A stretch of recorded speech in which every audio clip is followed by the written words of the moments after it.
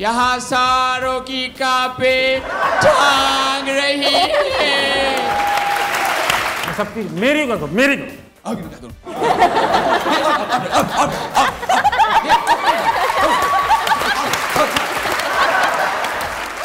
पाकिस्तान का सबसे बड़ा कॉमेडी शो हंसना मना है। टीम मुहाफिज स्पेशल जुमा शब ग्यारह बजकर पाँच मिनट। सिर्फ़ जियो न्यूज़ पर।